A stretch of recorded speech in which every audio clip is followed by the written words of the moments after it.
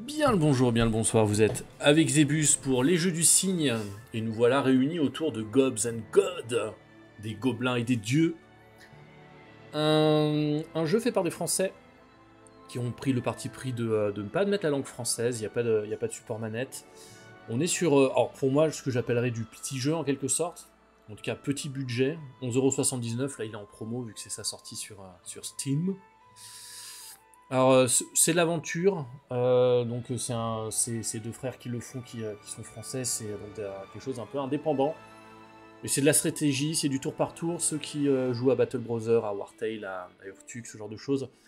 C'est un jeu qui est dans cette veine-là, beaucoup plus léger dans, le, dans les ambitions. Alors, dans les ambitions, dans l'univers. Il se revendique un univers un peu à la Monty Python. Au fur et à mesure qu'on regarde les quêtes, on se rend compte que c'est que c'est réellement le cas. Donc euh, ça reste léger, il y, a beaucoup, de blagues. Les, euh, les gobelins arrêtent pas de causer tout le temps, c'est eux qui donnent d'ailleurs des indications. Il y a, quelques infos parfois qui vont venir à manquer, hein, comme les stats des ennemis, ce genre, de, choses. Mais les gobelins vous diront toujours Ah, ça, euh, je peux l'avoir en faisant la sieste. Ouh, ça, je préfère m'enfuir. C'est ça qui est rigolo. Donc, on va passer sur le jeu. On va lancer une nouvelle partie pour voir à peu près comment, comment ça se profile. Vous allez incarner un dieu, vous allez être le pied géant qui va venir écraser des pauvres gobelins. Donc euh, les, les gobelins euh, émerveillés devant tant de puissance, vont, certains vont décider de vous suivre.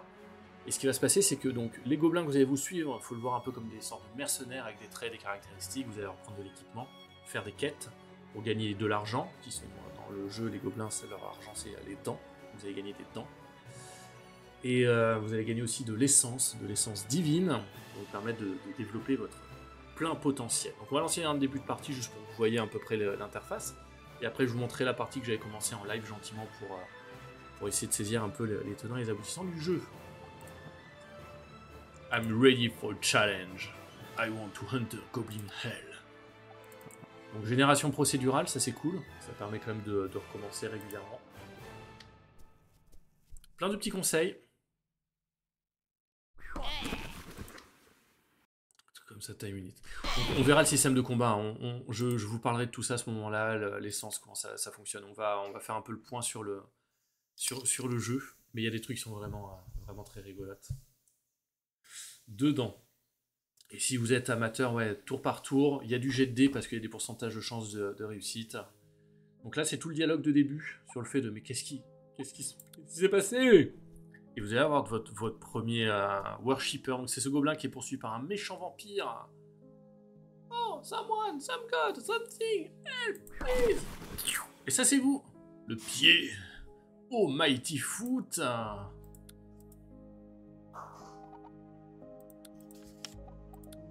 En fonction de- des choix que vous allez faire dans les dialogues, je, je vous lis pas tout, je vous laisserai découvrir ça parce que c'est euh, un aspect qui est quand même très rigolo du jeu et euh, c'est autant le découvrir soi-même. Jeu quand même complètement en anglais, hein, donc il faut lire un petit peu d'anglais. Ça reste de l'anglais qui, euh, qui est largement. euh, c'est pas vilain comme anglais. C'est pas vilain et même si vous passez en dehors de quelques références, vous euh, vous serez pas perdu dans le jeu pour autant. Alors, notre premier. euh, notre premier follower, notre, notre premier cultiste en quelque sorte, notre premier adepte, ça va être Gobila.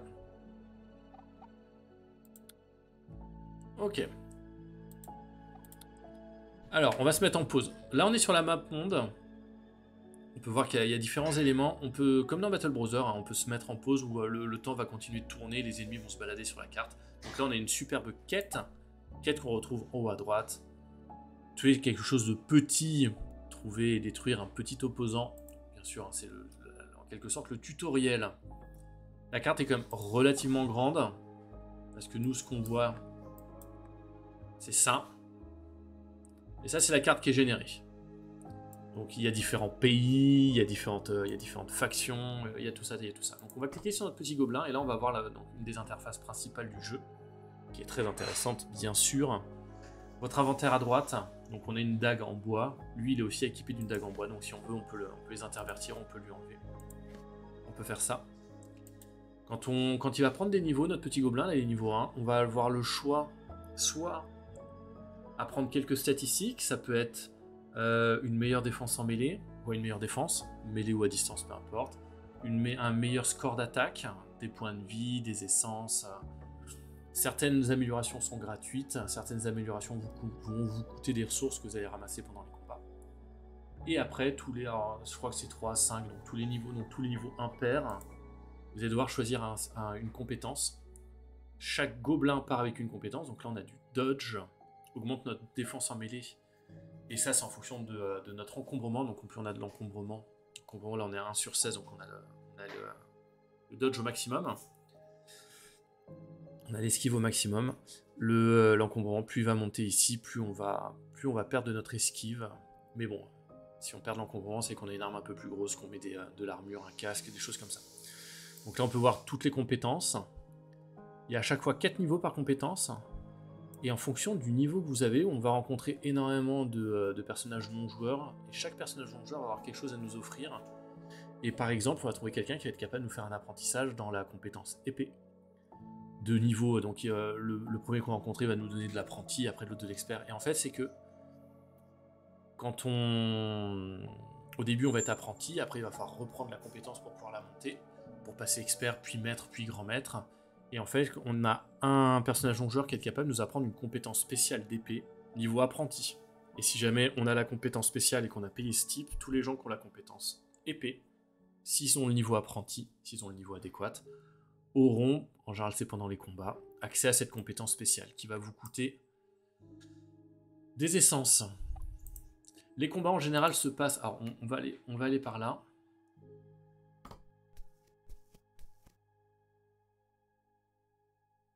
We kill them, but you don't need me. Allez, on va affronter ça. Donc là, c'est le, euh, le tutoriel. Il vous explique tout au fur et à mesure, c'est ça qui est vraiment très pratique. Donc là, on est en tour par tour. Si on le souhaite, on peut passer en temps réel.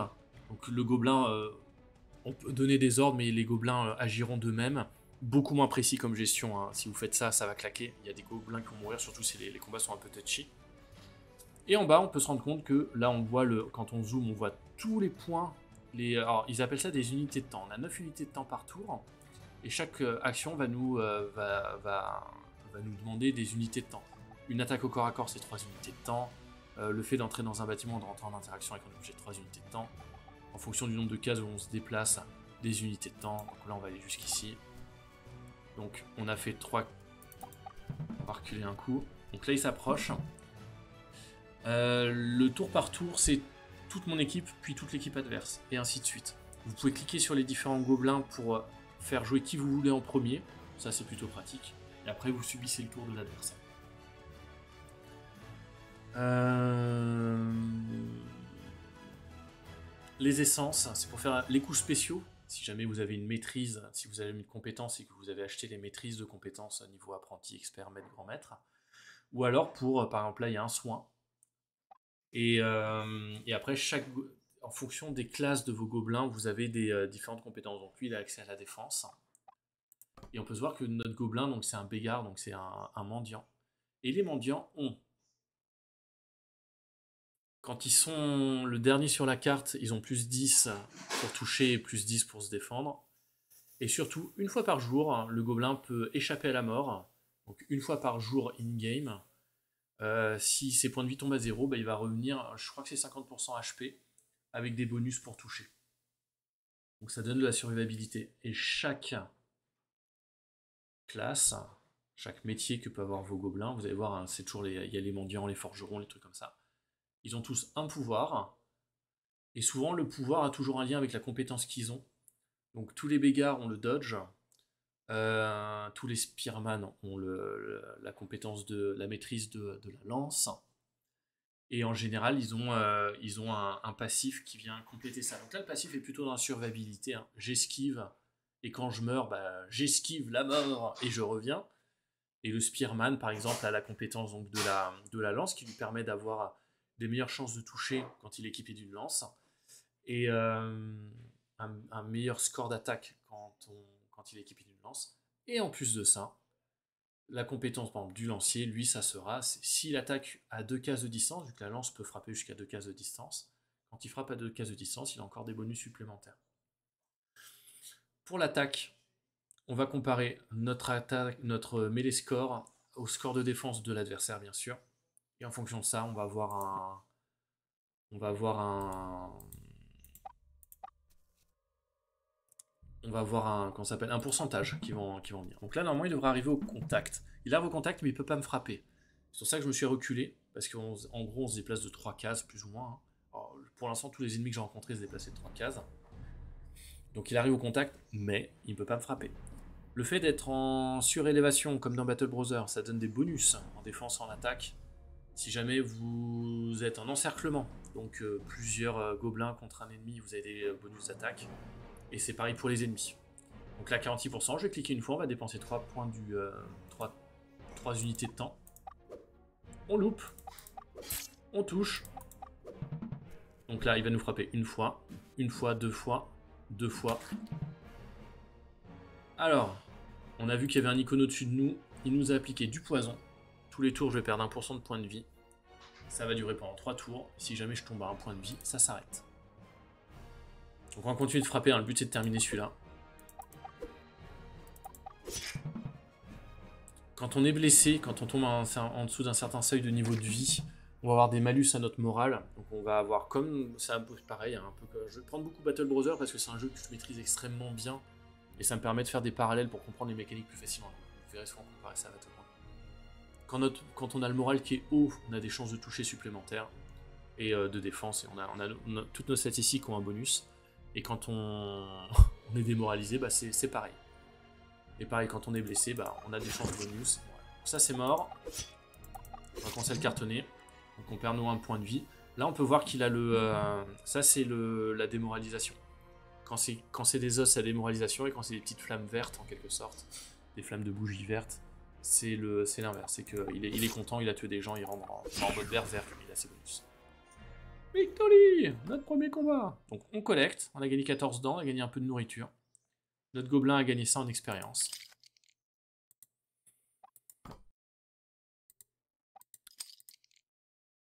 Et on a gagné 100 points d'essence. Les, essences vont venir ici. Et après, on va, se, mettre à, explorer. Donc, je vais reprendre ma partie. Donc là, on a vraiment vu la base. Je vais reprendre ma partie parce que j'ai un peu exploré. J'ai fait 2-3 combats et j'ai une bande de, gobelins qui est un peu... Euh,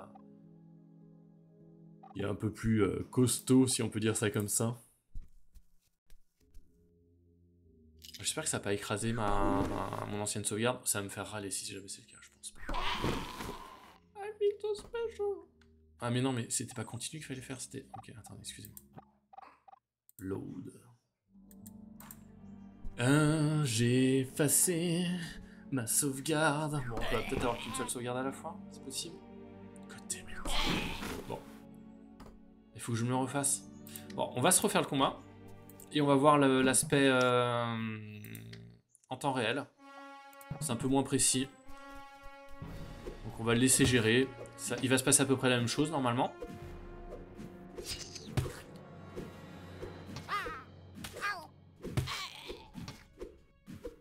On va mourir. Voilà, donc ça c'est comme ça que ça se passe. Defeat. Quand vos gobelins meurent, il avait accumulé 0 points d'expérience. Il était niveau 1, il était tout frais, euh, du, euh, sorti, de la, sortie du cocon. Donc il nous apportera aucun point d'expérience. Tous les points d'expérience qu'un gobelin va accumuler, quand il meurt, et seulement quand il meurt, nous on va pouvoir les absorber. Et ça va nous faire monter nos niveaux de dieu.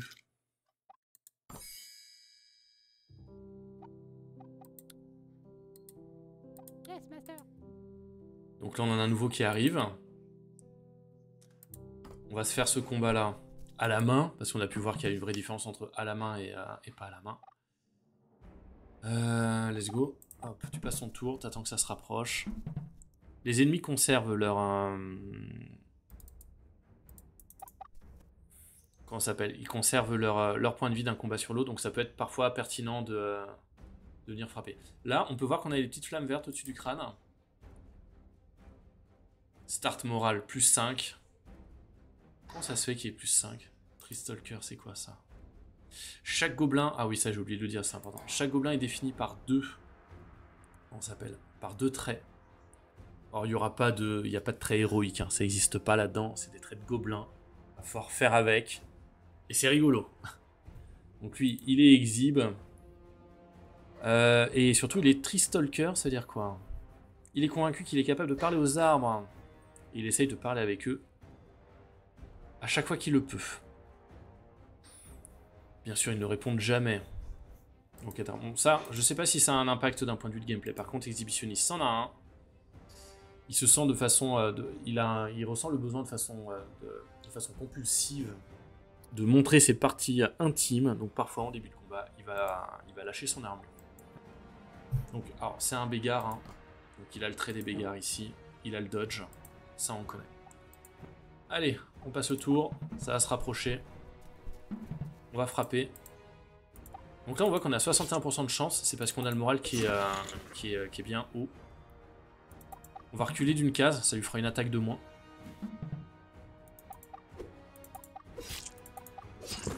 Et bah voilà. Et c'est on se rend compte que le, entre le tour par tour et le temps réel, il y a une vraie différence quand même. Donc on a réussi à faire ça, c'est bien. On va passer tout ça, on gagne nos essences. On a besoin d'apprendre un petit peu plus à propos de ce monde. On a besoin de trouver des, euh, on a besoin de trouver d'autres euh, followers. Donc on va commencer à se balader.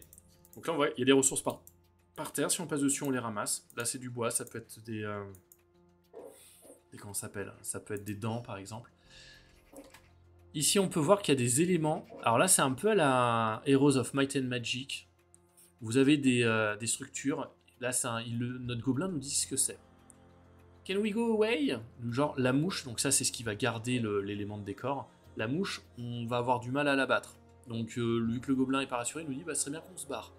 Et là par contre il nous dit après, ah ça, s'il te plaît, non. It's a healing well, donc c'est un puits de soins. Donc là-dessus on pourrait venir récupérer des, euh, des points de vie si on le souhaite. On récupère quelques dents. On, devrait tuer des choses plus petites d'abord, mon maître. Donc ça, ça sera un peu costaud pour nous. Donc on va aller ici. On va, suivre la, quête au début. Donc là, on peut se rendre compte que tous les, euh, les gobelins qu'on rencontre peuvent nous apprendre quelque chose. Donc lui, c'est un lumberjack. C'est un bûcheron. Il va nous apprendre euh, une compétence euh, de hache de niveau apprenti.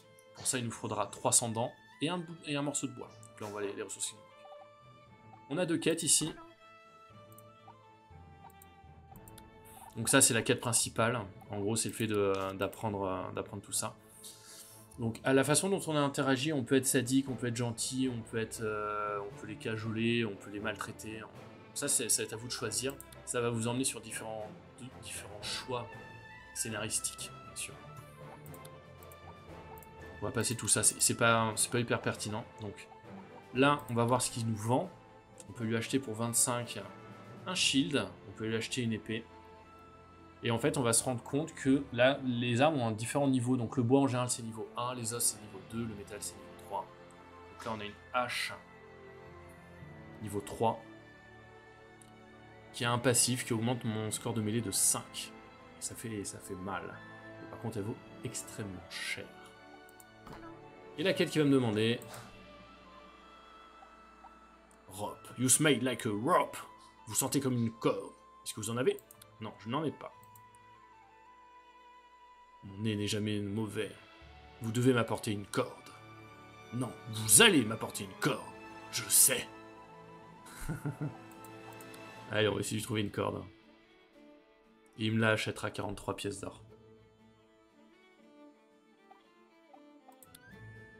Et alors chaque fois, si jamais vous savez pas ce qu'il faut faire, vous pouvez toujours demander où est-ce que je peux en trouver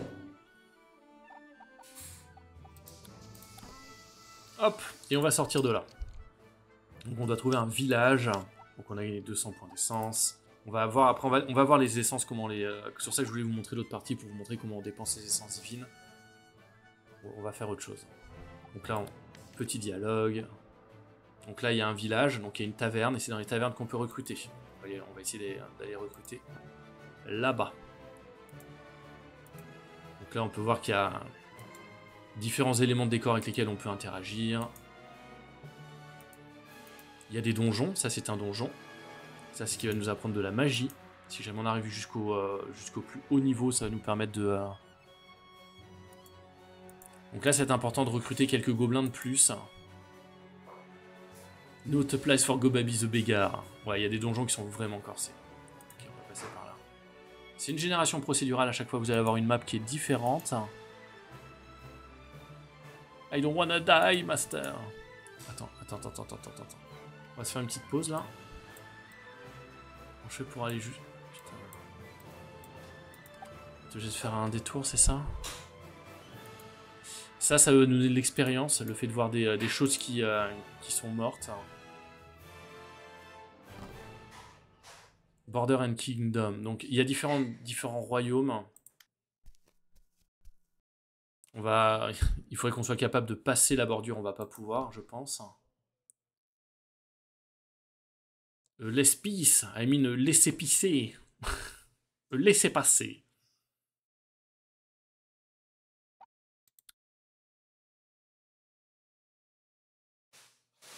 On va offrir 50 teeth.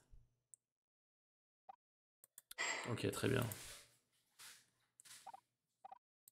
On va se barrer, on va pas affronter ça. L'avantage, c'est qu'on peut, on peut, on peut s'enfuir. Par contre, le truc, c'est que j'aimerais bien savoir comment je peux faire pour euh, rejoindre là-haut.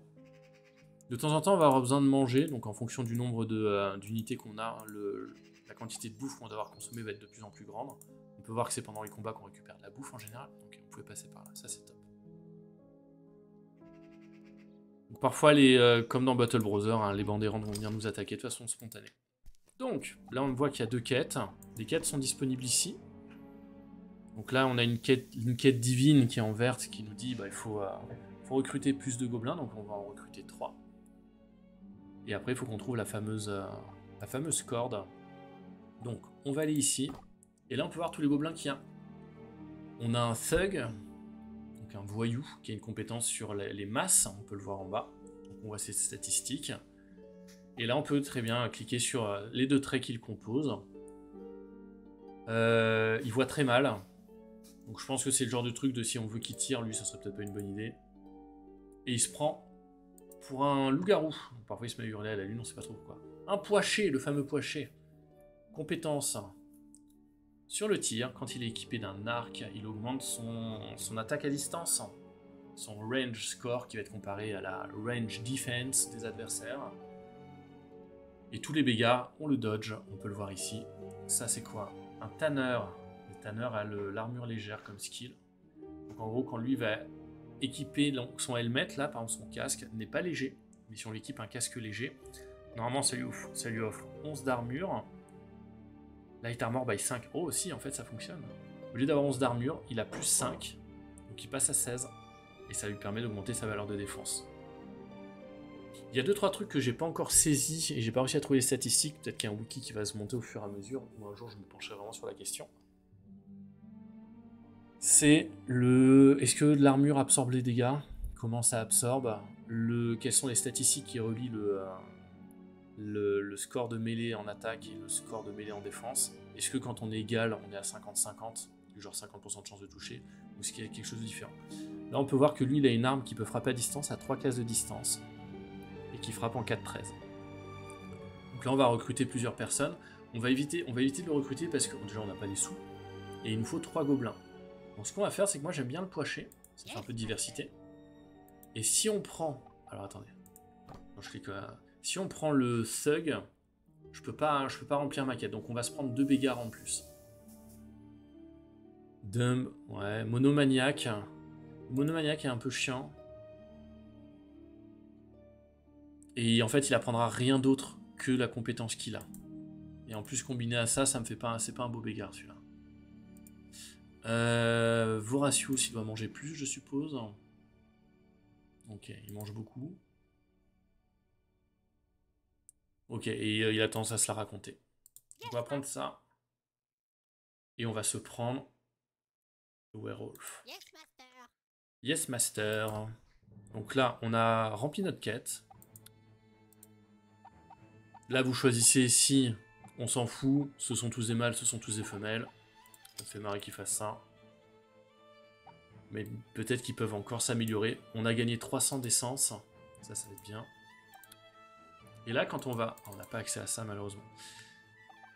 Donc pareil ici, on en a deux NPC, donc on a deux compétences qu'on peut apprendre. Donc bois Practice pour notre euh, si on lui achète ce qu'il faut, ça peut être bien. On va aller voir ce qu'on peut, euh, qu'on peut acheter. On peut acheter une corde.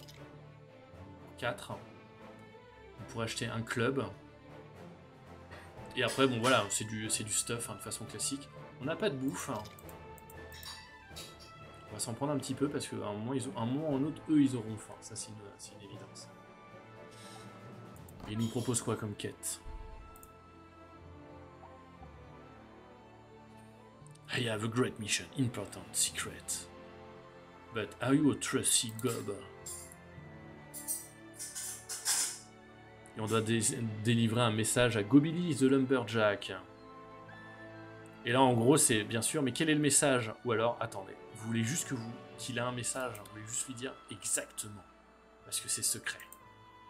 Donc on va dire, au gobelin de là où on est parti, on va devoir aller le voir, donc ça tombe bien, des, des quêtes comme ça qui se balancent l'une vers l'autre. On va se faire un petit bail et on va se prendre la deuxième quête. On peut avoir qu'un nombre limité de quêtes à la fois, donc euh, de temps en temps, il faut quand même les résoudre.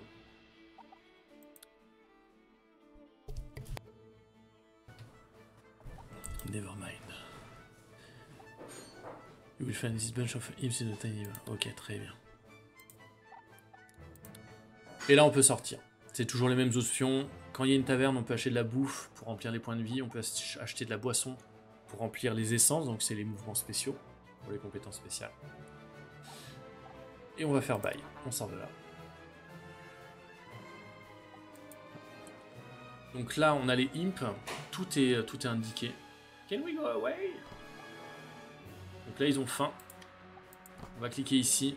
Alors, j'ai pas assez de bouffe, malheureusement. Donc le temps va passer, le temps qu'ils mangent. Et ils vont manger du bois. Oh. Ok, Gobulata a mangé du bois. Euh, ils sont tous équipés. C'est nul hein, de quoi ils sont équipés, mais euh, ils sont équipés. On va retourner jusqu'ici. Dire qu'on a... Alors c'est peut-être là. On appuie sur contrôle, on revient ici. Donc pour l'instant, les... Euh, donc ça, par exemple, ça fait caille Je pourrais très bien l'attaquer pour gagner un peu d'expérience, gagner de la bouffe, gagner du, euh, des dents. Mais ce qui nous rapporte le plus en général quand même, globalement, c'est les, euh, les, missions. Mais c'est important de prendre ce genre de combat dès le début pour pouvoir accumuler un peu de, un peu de compétences. Non, j'ai rien à lui dire, donc c'est un peu plus loin. Il y a un autre Lumberjack à côté?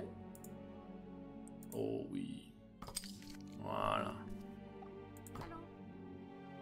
The Taylor. Ok. On a trouvé un nouveau village, on gagne un petit peu d'essence.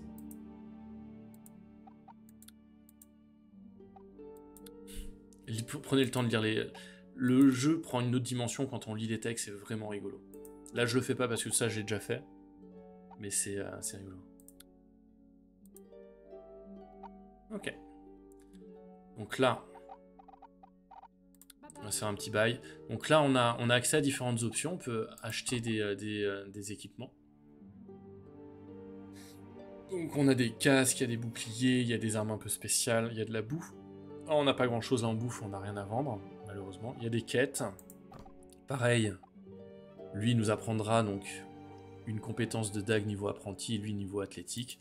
Et c'est vrai que c'est important quand vous commencez à monter vos builds de savoir quels NPC sont où et aller acheter les compétences, vu que les compétences rajoutent vraiment de, des vraies options dans votre. Euh, comment s'appelle? Des vraies options dans vos combats. Et là, on commence à avoir. Donc voilà, on a un cuistot. C'est quoi cette compétence? Accès à la magie de viande. La magie va consommer des, euh, des essences. Et après, vous pouvez. Exotic Weapon, ok. Meat Magic. Vous pouvez porter certains équipements qui vont venir augmenter vos, euh, compétences. Un Innkeeper, un Innkeeper, un on a vu. Un, écuyer, un Squire. Le Smith Club. J'aime beaucoup les Smiths. En général, ils ont une très grosse, euh, un très gros encombrement. C'est cool. Les, juste les stats avec les étoiles. Parfois, vous allez voir qu'il y en a qui ont des étoiles. Alors, je sais pas, c'est quand ils dépassent un certain niveau dans le, euh, il y a, en gros, quand ils dépassent le niveau 7, ils acquièrent une étoile, et quand ils dépassent le niveau, je suppose, quand ils arrivent à 9, ils en ont deux. On va peut-être voir. Ouais, 7, une étoile, 8, une étoile. C'est peut-être ça, hein. 7, 8, une étoile, 9, deux étoiles, 9 et plus, deux étoiles. Et ça permet de voir en, quoi ils sont, quoi ils sont forts. On va retourner vendre notre euh, petite... euh,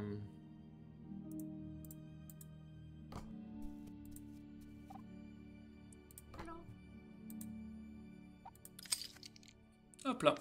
Donc il nous a payé, on a gagné 37 points d'XP. Un peu d'essence. Euh, on va sortir... ah mes souhaits, pardon. Alors, vu qu'on a un peu quand même, ah, ça pourrait être bien qu'on essaye de s'équiper, euh, d'avoir deux trois choses un peu différentes. On va retourner au village. Et on va essayer de s'acheter peut-être un arc pour le poicher, pour avoir une arme à distance, pourquoi pas. Il euh, n'y a pas d'arc. Il a pas d'arc. On a un gros gun par contre.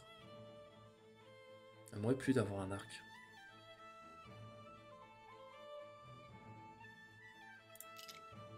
C'est une grette ou une normale? Ok, non. Donc c'est c'est une épée à une main. On va prendre un bouclier avec. Malheureusement, on va pas pouvoir faire grand chose de plus. Et on va se prendre une petite mission. Rame la démographie. Let's do it. Ça, on connaît. Et on va faire. Ah, on peut pas. On est obligé, on a trop de quêtes en cours. Donc là, ce qu'on va faire, c'est qu'on va changer un équipement. Notre poiché, il va avoir une épée. Donc il va. Là, on peut voir, il frappe à 3-6, une caisse de distance. Il frappe à 5-9.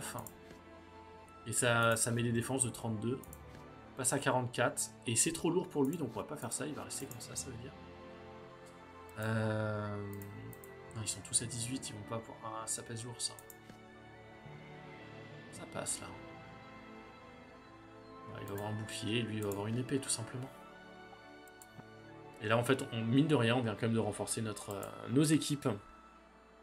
Donc on va suivre les flèches, hein. ça aussi c'est très très bien indiqué, hein. toutes les flèches vous permettent de voir où est-ce que vous allez. Et après vous allez commencer à tomber sur des combats qui sont vraiment difficiles. Et c'est là où le fait d'avoir des, des options supplémentaires, ça des compétences spéciales, des trucs comme ça, ça a vraiment changé la donne.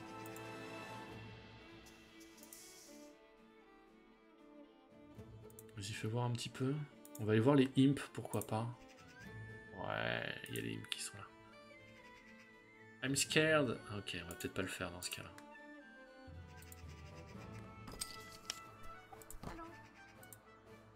On va voir le cheesemonger. On a trouvé une nouvelle fro- fromagerie. Quelque chose de très important. Donc là, on continue sur la voie de Muturing.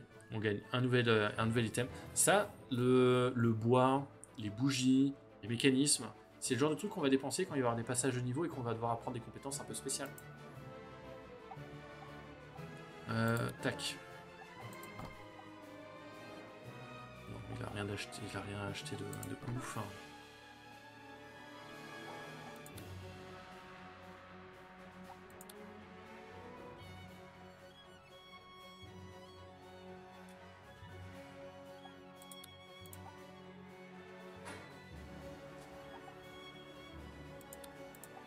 Ok, très bien. Donc on s'est récupéré un autre. Alors les combats, j'espère qu'on va se trouver un combat qui va être quand même cool. They look big, master. En gros, je pense que ça rentre ça, mais euh, chaud. Qu'est-ce qu'on va faire ici? Hop là. On va conclure notre petite quête. On augmente notre réputation.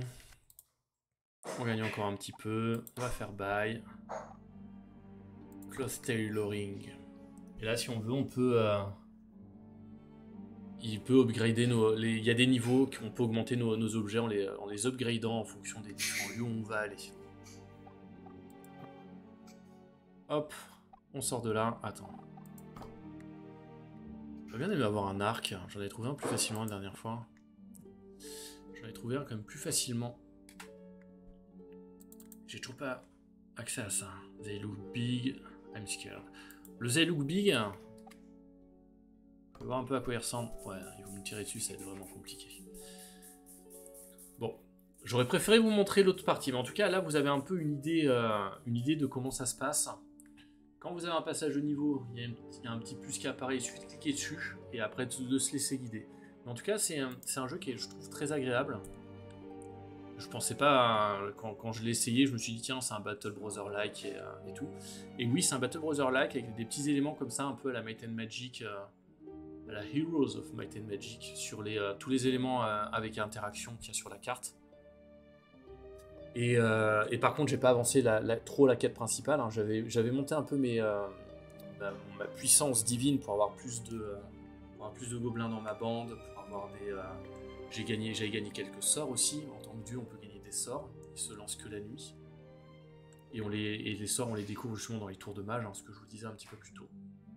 Donc voilà, donc j'espère que cette petite euh, démonstration vous a plu, cette petite découverte. Si jamais un jour vous souhaitez, bon, un jour, si jamais vous souhaitez voir un run là-dessus, c'est quelque chose que je peux faire avec plaisir, parce que c'est le genre de jeu qui me plaît beaucoup. Sachant que j'avais commencé en live, j'ai un peu les boules d'avoir perdu ma sauvegarde, mais euh, c'est pas grave. Et euh, après euh, j'avais écrasé l'autosave, et je pense que l'autosave a juste reset et que c'est entièrement ma faute. Pas de problème là-dessus. En tout cas, si jamais vous- un jour vous voulez voir un run, je relancerai une partie.